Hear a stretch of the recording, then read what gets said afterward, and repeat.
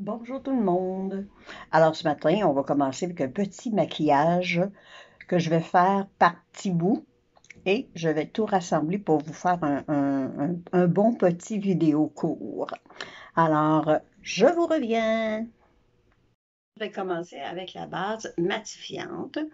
On a trois bases chez Unique. On a une base matifiante pour les peaux qui sont euh, mix grasses. OK? Et on a une pour euh, les peaux hydratantes, euh, pour les peaux sèches, et on en a une qui est pour les peaux mixtes. Alors, moi, j'utilise la matifiante parce que j'ai quand même un système où j'ai un peu de, de, peau grasse au centre du visage. Alors, voilà, je vais l'appliquer. C'est comme un gel. Et puis, c'est vraiment une base de maquillage. Alors, vous allez voir que j'en ai pas beaucoup, j'en ai pas besoin de beaucoup, mais euh, ça fait la job. Alors, je l'applique tout simplement partout sur mon visage. Vous allez voir les rougeurs que j'ai. Moi, je suis, euh, j'ai un peu d'acné rosacée, mais vous allez voir que les fonds de teint vont tout cacher ça. On ne verra plus rien par la suite. Voilà, alors c'est ce que ça donne pour l'instant. Je vous reviens. Alors, comme fond de teint, aujourd'hui, je vais utiliser un fond de teint en poudre. Et euh, vous allez voir que c'est très, très, euh, ça, ça, cache bien, ça couvre bien. Vous allez voir que c'est très facile d'application. Je l'aime beaucoup, moi, pour l'été, parce que c'est un maquillage rapide. Et puis, ça fait vraiment bien. Déjà, on voit une différence. Et puis, je trouve que l'été, lorsqu'il fait chaud, c'est vraiment l'idéal. Là, moi, j'utilise une couleur relativement pâle parce que j'ai de la difficulté à m'habituer avec les couleurs trop foncées, mais ça fait quand même très, très bien.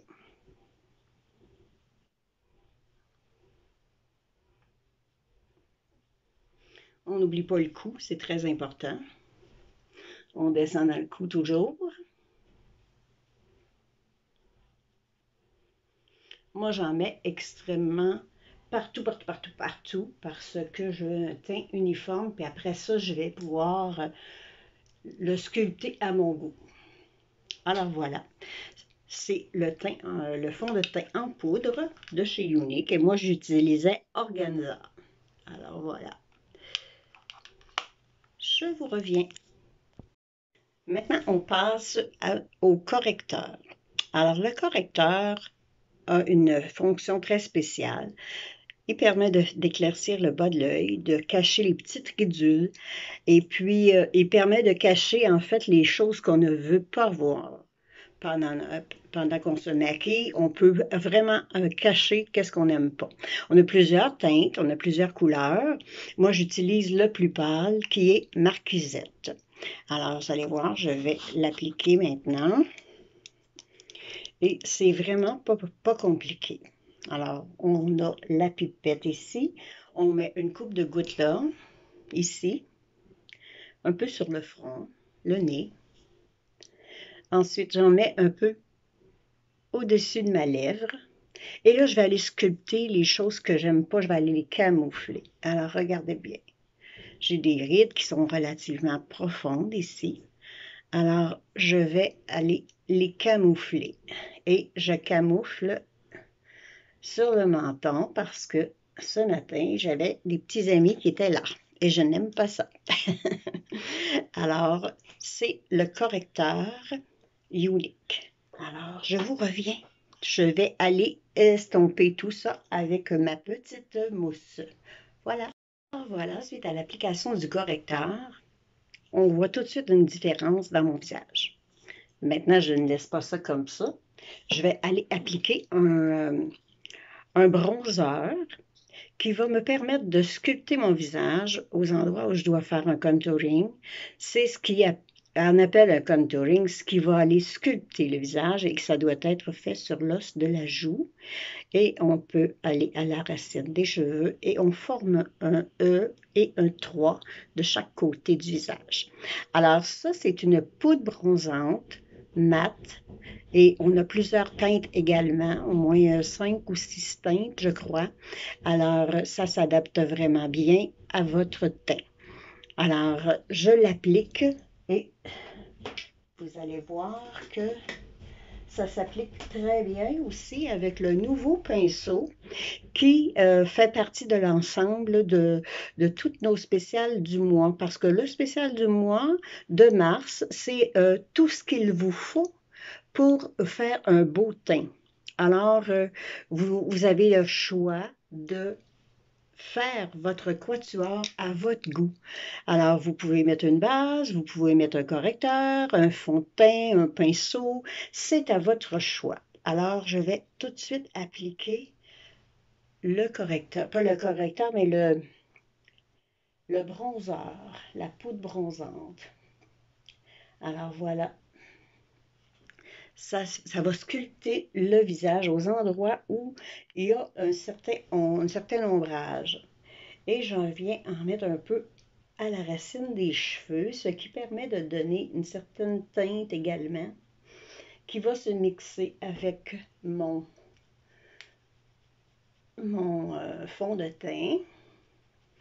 Et je fais la même chose de l'autre côté. Alors, je viens mettre le produit pour commencer. Et ensuite, je viens l'estomper vers le haut, comme ceci. Voilà. Alors, euh, on le travaille un peu de façon à ce que il se mélange bien aux autres couleurs. Et je vais surtout ne pas oublier le cou. Le cou, comme si vous voyez bien, il y a une espèce de triangle qui se forme. C'est un triangle d'ombrage. Alors, c'est important de venir le sculpter. J'en mets un peu sous la lèvre du bas parce que on, là également, on a un ombrage et ça permet euh, d'avoir euh, l'impression d'avoir la lèvre plus pulpeuse. J'en mets un tout petit peu sur les, les ailes du nez. Ça, c'est parce qu'on veut euh, donner l'illusion que le nez est moins large. Alors voilà, on en met un peu sur le bord du nez. Alors ça, c'est la poudre compacte bronzer qui euh, vient euh, en fini mat seulement. Et vous avez le pinceau également qui peut faire partie de votre quatuor. Alors, je vous reviens. Maintenant, je vais appliquer une poudre fixatrice. Je pourrais utiliser cette petite poudre qui donne un, effet de, goutte d'eau. Elle est merveilleuse. Je l'appelle ma petite poudre de perlimpinpin. J'ai aussi une poudre translucide. C'est une poudre libre. Et euh, il y a plusieurs tons également. Ça, ça vient fixer votre maquillage. Et on a également la brume fixatrice qui, elle aussi, vient fixer euh, sous forme de spray. Alors, moi, aujourd'hui, je vais prendre la petite poudre de perlimpinpin. Alors, on va venir fixer le maquillage avec cette poudre-là. On prend un pinceau puff et on vient vraiment appliquer notre poudre. On n'a pas peur de l'appliquer, hein?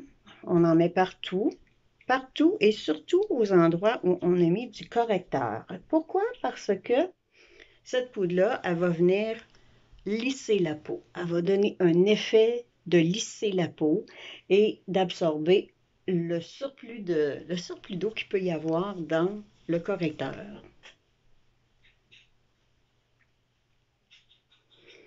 Alors, comme je vous dis, elle vient fixer le maquillage. OK. Elle vient fixer le maquillage et en même temps, elle vient faire en sorte que tout soit à sa place et que tout soit lisse. Et il ne faut pas oublier d'en mettre dans le cou parce que si vous portez un, chemisier ou quelque chose qui a un col un peu plus serré au cou, euh, ça évite d'avoir des transferts de maquillage sur votre vêtement. Alors, je vous reviens. Alors maintenant, je vous parle de la dernière étape quand on fait notre teint. C'est l'illuminateur qu'on va venir mettre au-dessus de nos joues ici. On va en mettre un peu peut-être sur le front. On va en mettre aux endroits qu'on veut vraiment attirer la lumière. Alors, les, euh, les nouveaux illuminateurs sont maintenant compris dans le spécial du mois également. Alors, vous pouvez choisir la couleur que vous désirez. Il y a cinq couleurs. Alors moi, euh, j'en ai trois. Ça me satisfait pleinement. Et vous avez aussi les anciens euh, illuminateurs en bâton. Alors ça, c'est à votre choix. Et puis, euh, ils seront plus disponibles au catalogue, ceux-ci. Alors, si ça vous intéresse de les avoir parce que vous avez déjà essayé et que vous les aimez, c'est le bon temps de venir faire vos provisions. Alors, je vais appliquer aujourd'hui, moi, l'illuminateur brushing. Alors, c'est un beau rose, un beau rose doré. Et avec ça vient également le pinceau éventail pour appliquer votre illuminateur. Alors voilà, on vient chercher de l'illuminateur, on la met ici. Voyez-vous, ça brille un tout petit peu. Moi, j'en mets un peu ici, juste en dessous du, euh, contouring. Et je fais la même chose l'autre côté, un petit peu comme ça. Et j'aime bien le descendre un peu sur ma joue comme ça. OK? Je viens en mettre ici sur la mâchoire comme ça, un peu sur le menton sur nos nez, bien sûr. Alors, sur le bout du nez. Et je viens en mettre un peu ici pour illuminer. Alors, voilà. C'était la dernière étape du teint. Alors, comme je vous dis, actuellement, pour l'offre de masse, vous pouvez vous procurer tous les produits pour le teint. Alors, si vous achetez trois produits, vous avez c'est votre, choix, c'est des produits de votre choix. Vous pouvez acheter euh, un, illuminateur en bâton, un illuminateur en poudre et acheter le pinceau qui va avec. Alors ça, ces trois, ces trois euh, produits-là, vous avez 25% de rabais par-dessus.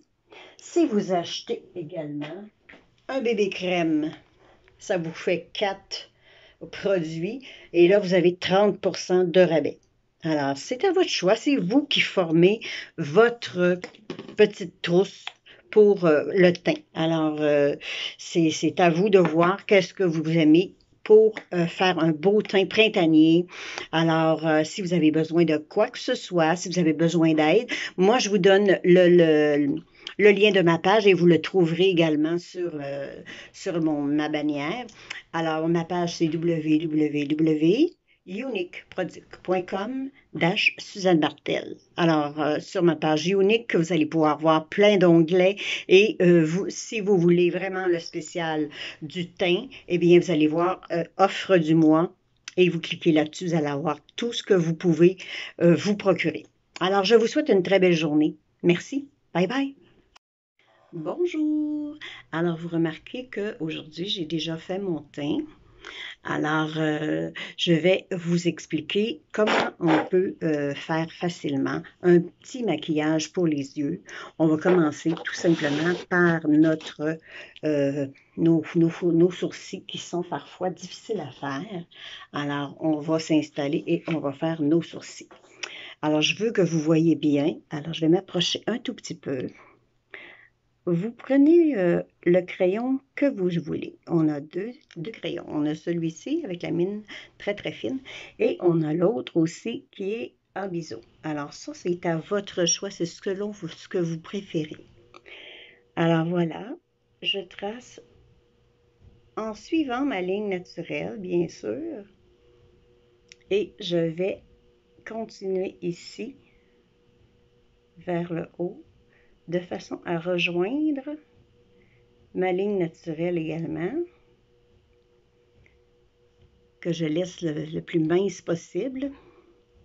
Et puis je viens remplir à par petits coups de crayon, comme ceci, en essayant de donner l'air le plus naturel possible.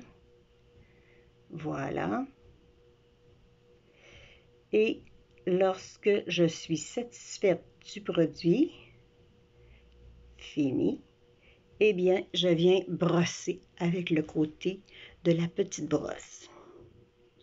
Alors voilà.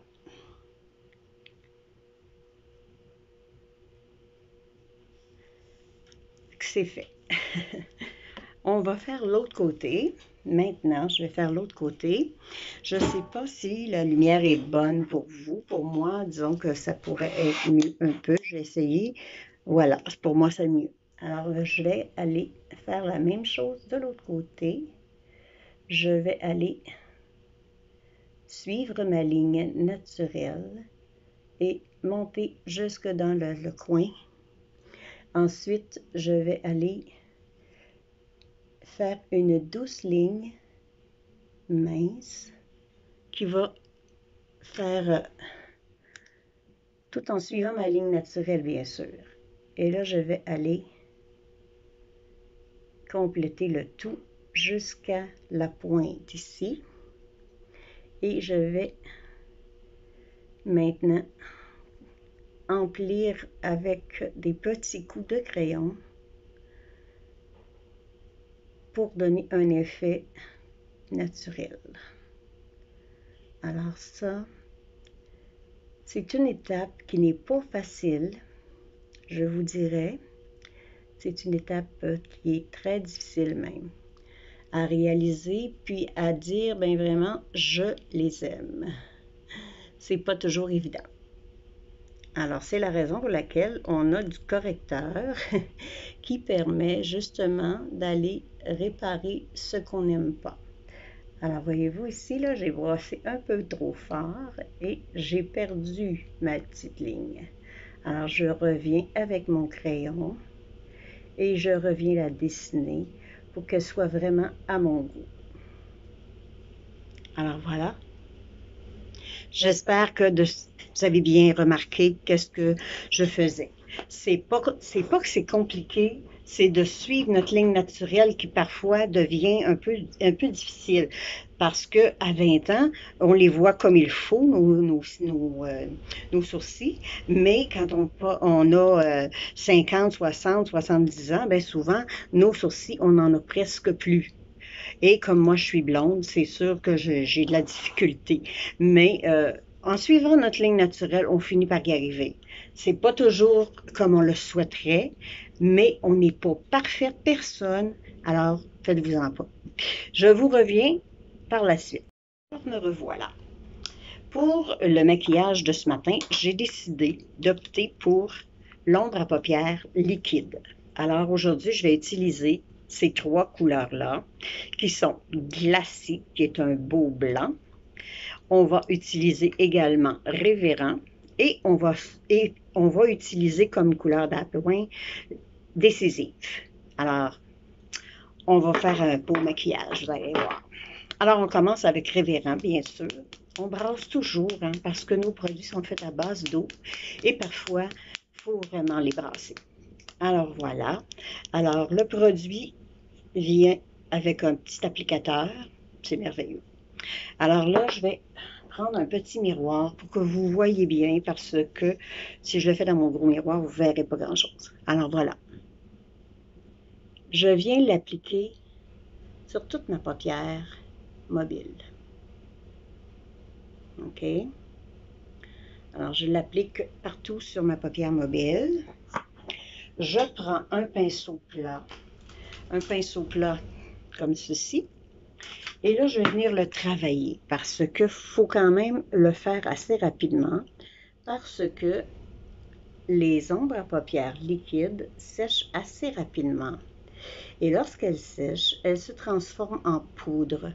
Alors, voyez-vous, c'est la raison pour laquelle on doit venir les travailler relativement rapidement. Alors, je l'étends partout sur ma paupière. Ça va donner un beau fini euh, pratiquement doré, je vous dirais. En tout cas, il y a une belle dorure, ça c'est certain. Et là, je vais l'étendre jusqu'en haut ici. Maintenant, je vais prendre l'autre teinte. Je vais faire un seulement qu'un œil pour l'instant, d'accord? Je prends l'autre teinte qui est euh, décisive. Et là, je vais venir l'appliquer comme teinte majeure, si on veut. Alors voilà. Moi, je l'applique comme ceci. Je viens faire une toute petite ligne ici en bas. Et je vais la monter jusque là. D'accord? Ensuite, je reviens sur la pointe de mon œil, comme ça. Et là, je vais travailler, je vais travailler ma pointe. D'accord? Alors, j'utilise toujours le même pinceau. Et là, je viens vraiment travailler ma pointe d'œil en montant la teinte plus foncée vers le haut toujours en respectant ma ligne. Et je viens ici en même temps estomper un tout petit peu ce que j'ai mis par le bas. Alors voilà, on continue, on continue.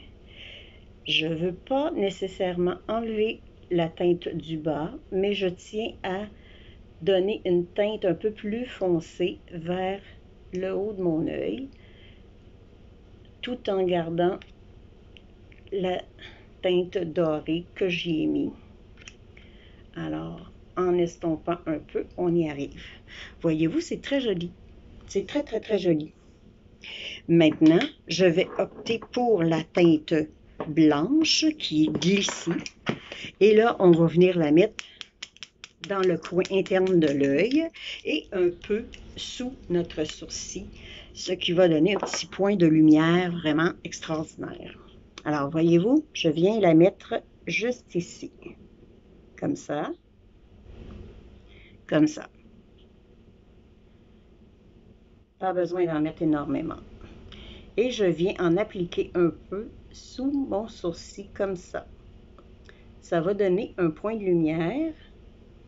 Bien sûr, je vais venir l'estomper, mais ça va être très joli. Je, peux me permettre d'en mettre un petit peu plus ici. Ça va donner un dégradé que je vais venir estomper par la suite. Alors, je prends mon pinceau et je viens travailler tout ça. Si je ne veux pas en enlever trop, je fais seulement tapoter, comme ceci. Et dans le haut de l'œil, je viens tapoter bien sûr, mais je ne peux pas laisser ça comme ça parce que je ne veux pas nécessairement qu'on voit du blanc.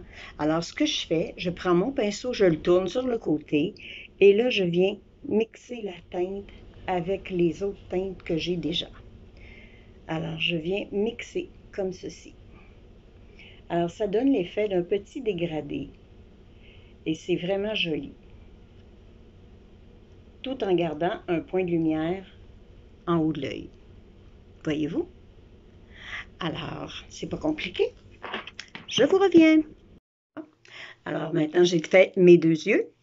Je vais appliquer le fameux eyeliner. On le brasse bien comme il faut. Hein. C'est important parce qu'il est à base d'eau.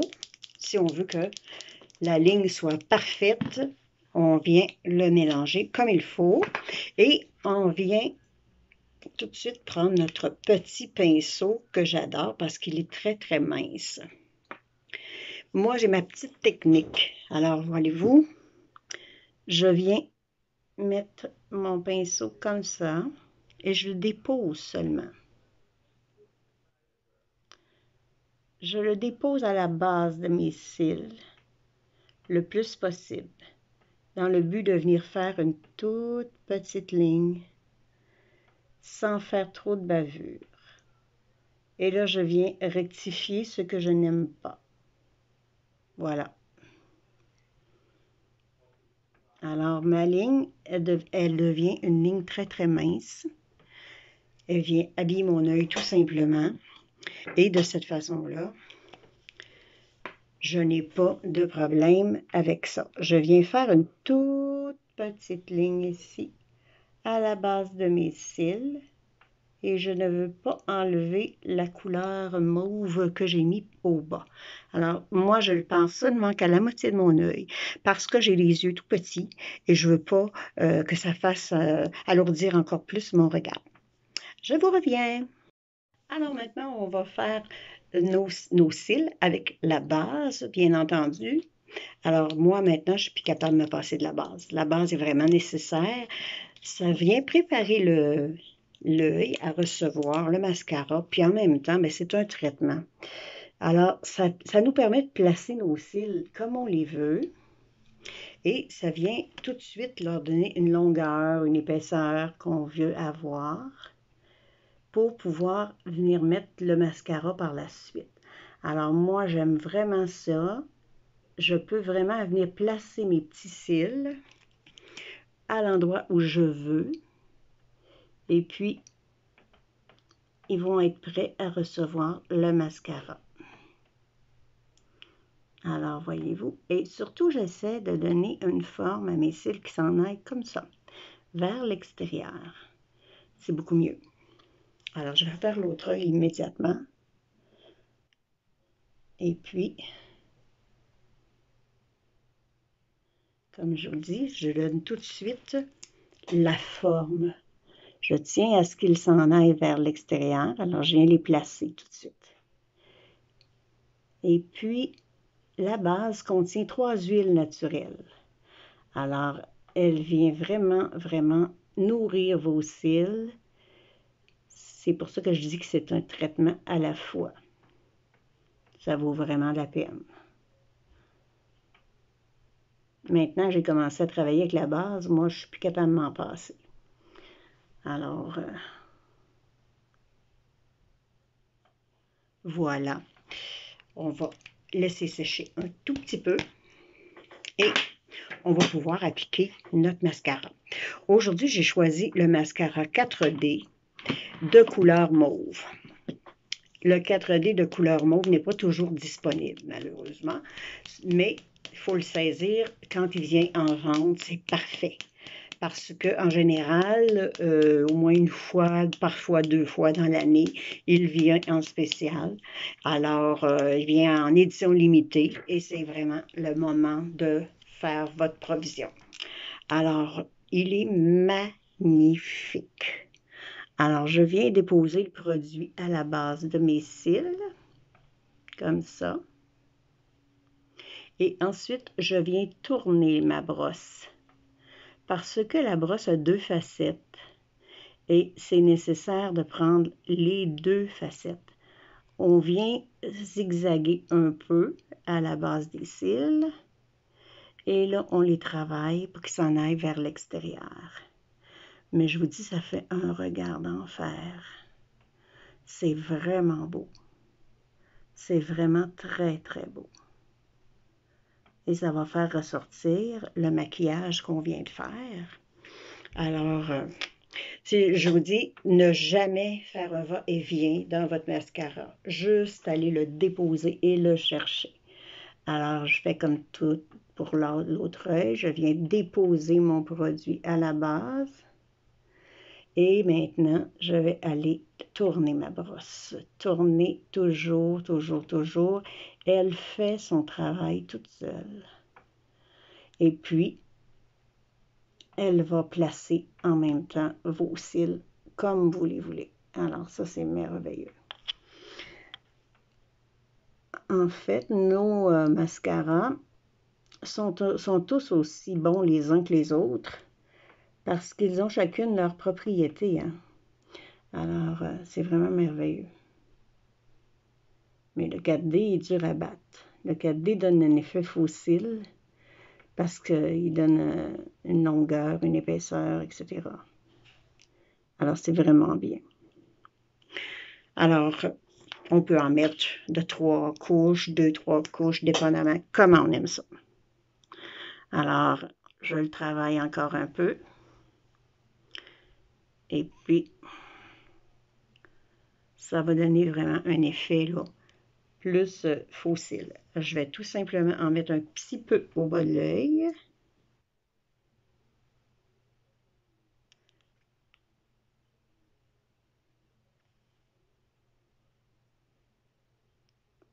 ce qui n'est pas nécessairement facile. Voilà. Juste un peu. Et je fais la même chose de l'autre côté. Alors, je vais venir encore une fois donner une petite couche à mon œil et je vais aller dans le bas de l'œil un peu en déposer.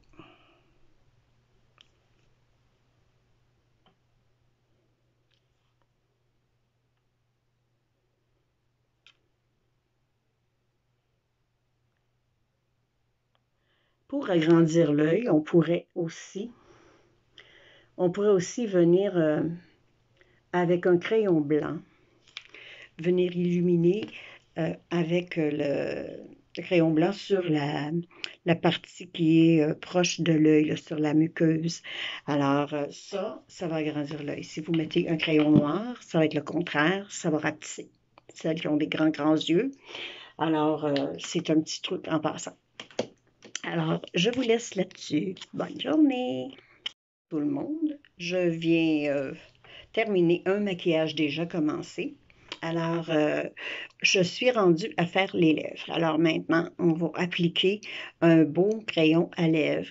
Euh, pour les soins de lèvres, je vous dirais qu'on peut appliquer un, un, avant, qui est un repulpeur à lèvres. Ça, c'est vraiment bon. On peut également appliquer un, on peut également appliquer un, exfoliant. Alors ça, c'est vraiment bon aussi. Ça vient, euh, on l'applique et on vient, euh, tourner euh, sur notre lèvre et ça vient enlever toutes les petites peaux Alors ça, c'est vraiment bon. Alors ça, c'est un soin. On a également un masque pour les lèvres. Je vais vous déplacer un petit peu. Le masque pour les lèvres, eh bien, il est vraiment bon également. On peut l'appliquer le soir, on peut l'appliquer le matin. C'est comme une espèce de gel. Et euh, vous l'appliquez soit avec un Q-tips ou quelque chose du genre, mais ne jamais mettre vos mains à l'intérieur, bien sûr, pour les bactéries. Alors, euh, ça, c'est un masque pour les lèvres. Alors, c'est un autre euh, élément que vous pouvez euh, prendre pour vos soins de lèvres. Alors, comme aujourd'hui, j'ai un maquillage qui est dans les tons de mauve, un peu prune, etc., je vais prendre un crayon qui se nomme, qui se nomme, bougez pas, Pépi. Alors, Pépi, il va tirer un peu sur le mauve, d'accord? Alors, on va essayer d'aller faire quelque chose qui, sans être trop mauve, va donner un bel effet. Alors, on y va. On commence toujours par les lèvres du haut. Et on vient faire notre petit cœur.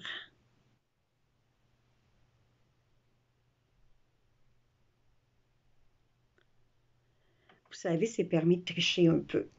Moi, j'ai la lèvre du haut qui est très mince. Alors, je vais dépasser un tout petit peu, mais pas beaucoup, parce que si on dépasse trop, ça paraît. C'est pas joli.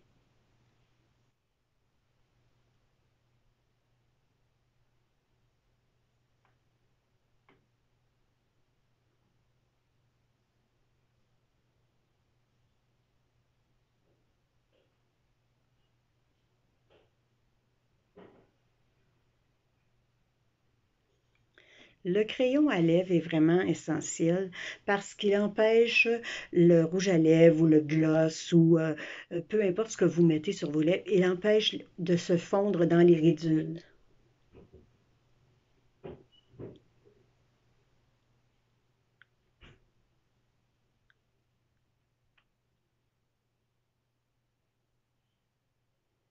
Il est très beau, hein, ce crayon-là.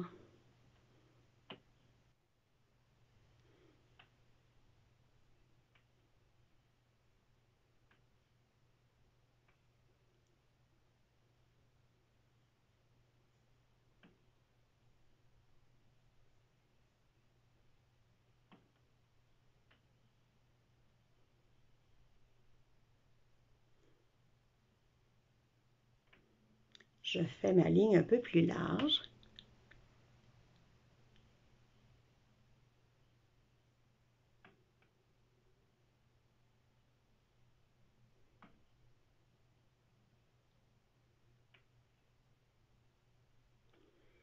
Et je vais venir appliquer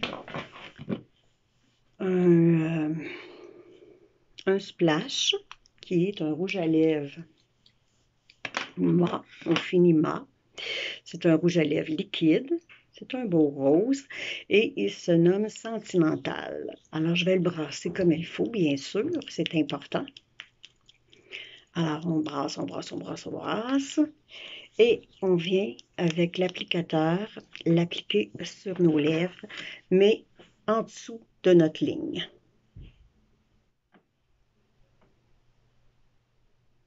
Voyez-vous, il n'y a presque pas de différence.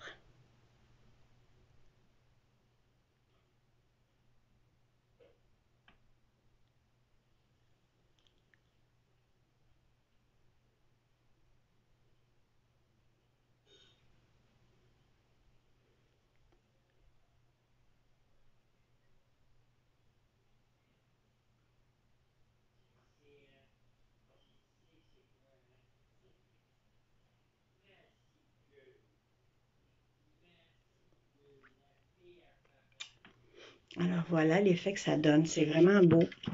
On peut par la suite appliquer un gloss transparent. Euh, on peut le pâlir également si on trouve qu'il est trop foncé.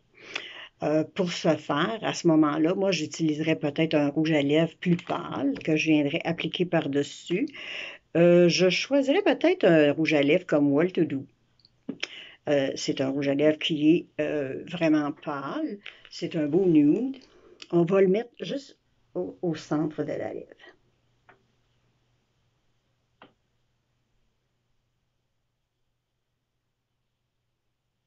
Voyez-vous?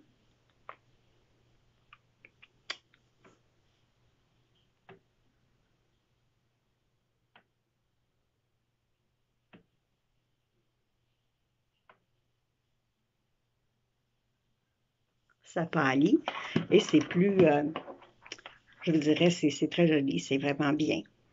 Alors, euh, c'est des petits trucs qu'on peut vous donner. J'aurais pu également appliquer un, correcteur sur ma lèvre. J'aurais pu appliquer un illuminateur. Euh, j'aurais pu, avant de mettre mon rouge à lèvres, mettre un peu de fond de teint sur ma lèvre. Ça aurait été plus facile. Mon rouge à lèvres aurait eu encore une plus longue tenue. J'aurais pu également prendre euh, une base pour les yeux qui aurait été euh, euh, encore aussi bien applicable sur les lèvres. Alors, euh, c'est des petits trucs en passant. Ça me fait plaisir de vous les offrir. Alors, je vous souhaite une très belle journée. À la prochaine. Bye bye.